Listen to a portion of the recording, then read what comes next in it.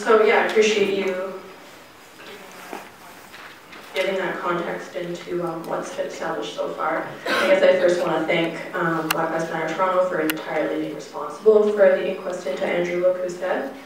Um, I mean, I guess you touched on this a little bit, Mr. Pringle, but I have concerns about the establishment of this committee um, and the transparency with which this committee will be established, um, especially um, I don't know volunteered to be the chair, the co-chair of this, or you were elected as the co-chair of this committee, um, but I would love to know a lot more about how um, your role on this committee came to be.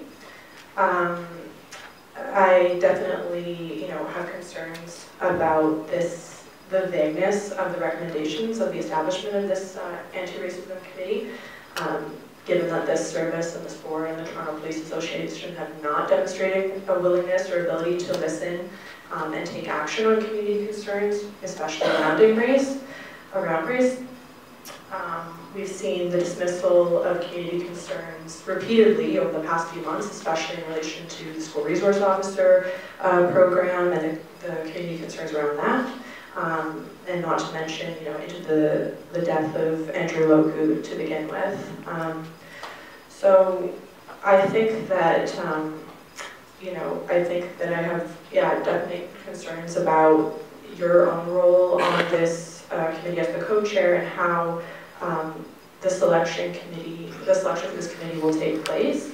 Um, I also have questions uh, and concerns about how the board overall is expected to implement effective anti-racist strategies, um, especially when this this Toronto Police Service is currently being investigated by the Ontario Human Rights Commission for practices of, of anti-black racism and racial profiling.